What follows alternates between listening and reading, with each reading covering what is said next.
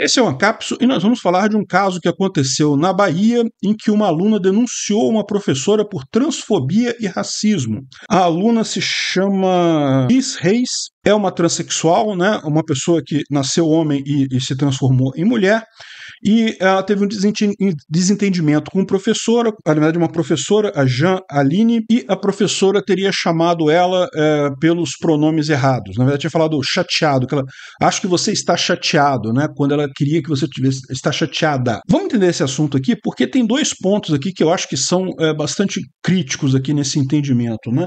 Essa notícia foi sugerida por um monte de gente lá no arroba Ancapsubot. Agradeço ao pessoal que sugeriu a notícia. Agradeço também a você que está assistindo o nosso vídeo. Se você gosta gosta do nosso conteúdo, por favor, deixe o seu like e se inscreva aqui no canal. Né?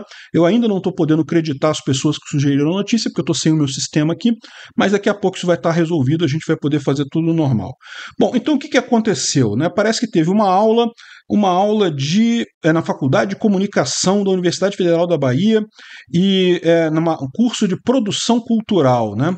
Em determinado momento, a aluna teria feito uma crítica a um texto e a professora não gostou dessa crítica. Né? É, é aqui, ó, a situação teria começado depois que a professora não concordou com as críticas da aluna a respeito de um texto. A professora teria tratado ela com pronomes masculinos e feito comentários que ela estava fora do conteúdo. Né? Ela perguntou meu nome quando fiz o primeiro comentário e eu respondi. Ela disse: Acho que você está chateado.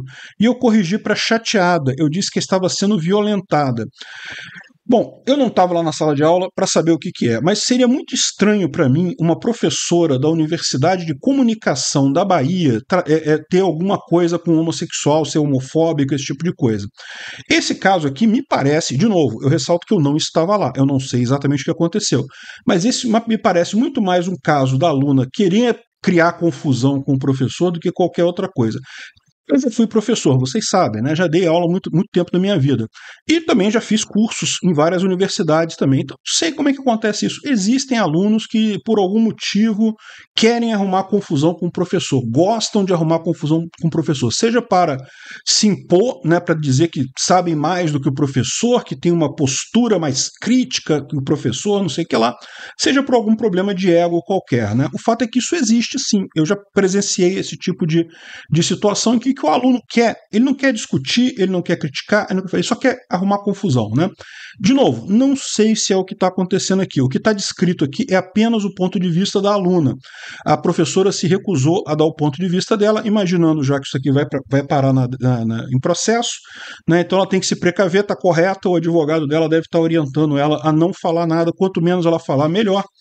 E aí, é, o que, que a aluna disse aqui, né? É, que ela disse que estava sendo violentada, e daí a professora chamou um servidor e disse que havia uma figura em surto psicótico em sala de aula. É, eu não sei se era esse o caso, né? O surto psicótico é uma coisa muito forte, mas que certamente era um aluno causando confusão, nada me tira da cabeça que era alguma coisa assim, né? E o que me chamou a atenção é que, olha só, o que a aluna fala aqui, ó, ela me tirou de um lugar que eu construí, me tirou o direito de ter uma construção crítica dentro da universidade, né? E é isso que, que me incomoda, porque, é, é, veja, você ter uma construção crítica é seu direito. As outras pessoas ouvirem e respeitarem a sua construção crítica não é o seu direito. Você pode, dentro da sua cabeça, ter a construção que você quiser, né? Aqui, ó, a aluna tentou destruir toda a minha narrativa de aluna, artista e humana. Não, ela pode ter se enganado com o pronome, ela não tentou destruir nada, né? E ou é, é o que eu falo sempre, essa ideia de que você é, é, as pessoas merecem ser chamadas pelo pronome que elas querem, isso é falso. Ninguém tem direito a ser tratado com respeito.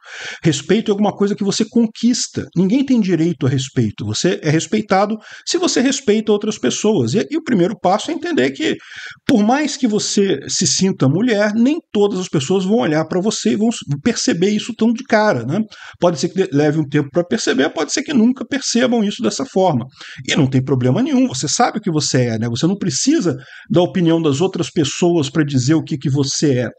Então, essa, é, essa é a questão. Né? É, então, destruiu toda a minha narrativa. Né? É curioso essa, esse, essa a, a fixação do pessoal com narrativa, né? como se fosse uma coisa real, algo que você constrói. O próprio Lula fala esse tipo de coisa também. O que importa não são os fatos, o que importa é a narrativa, né? E, de novo, é, eu concordo que você pode ter uma autovisão que você achar melhor, mas você não tem o direito de exigir isso das outras pessoas. Você pode fazer a sua construção crítica na, na, na uh, universidade, ter suas ideias, ter suas opiniões, é perfeitamente válido. Agora, você não precisa falar, é, as pessoas não precisam ouvir essa sua construção crítica. Né? Ninguém é obrigado a aturar você em lugar nenhum, nem na sala de aula, nem em outro lugar qualquer é, é, o direito à liberdade de expressão não, não pressupõe o direito de que as outras pessoas sejam obrigadas a ouvir o que você tem que falar. Essa é uma confusão que muita gente faz. Eu mesmo falo aqui, eu sou plenamente a favor da liberdade de expressão. E aí muita gente me questiona porque eu bloqueio gente no Twitter. Bloqueio direto gente no Twitter, bloqueio no YouTube. Pessoal Roussetti, eu saio bloqueando todo mundo. Pessoal que fala alguma crítica que eu não gosto, eu bloqueio mesmo. E o ponto é esse. Não, o seu direito de falar é seu direito de falar. Quando eu bloqueio você no Twitter, eu bloqueio na minha conta. Eu não ouço mais você falando. As outras pessoas, inclusive outras pessoas que estão na minha conta, vão ver os seus comentários. Só eu que não vejo.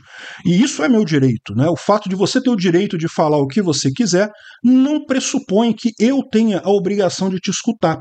E se você falar alguma coisa que eu não goste, eu vou bloquear mesmo. E, e pronto, não tem nada demais, né? Você vai continuar a sua vida tranquilo, falando o que você quiser, me xingando onde você quiser, me chamando do que você quiser. Não tenho problema nenhum com isso. Eu só não quero ficar ouvindo esse tipo de coisa, né? Eu não tenho tempo para perder com isso. Então, esse é o problema que essa aluna tem aqui, né? Enfim, é, eles estão falando aqui, vão fazer uma investigação, vão ver um caso, e é, parece que é, é a aluna teria acusado a professora de racismo e homofobia. Enfim, é, de novo, eu não sei o que aconteceu, eu não estava lá, eu não tenho elementos para determinar exatamente o que houve, mas o que me parece, da minha experiência pessoal, é que isso aqui é muito mais um caso de aluna querendo criar caso do que efetivamente de uma professora sendo homofóbica e racista. Né? Vamos aguardar a investigação da UFBA para saber isso daí. E esse é o ponto dessa história toda. Respeito se conquista, não é algo que você tenha por direito direto. Né?